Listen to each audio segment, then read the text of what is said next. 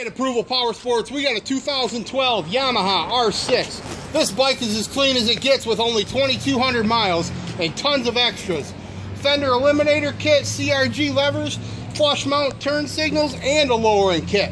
The first one in gets it. It's been inspected, certified at a Yamaha dealership, guaranteed financing for everyone. Visit our website, approvalpowersports.com.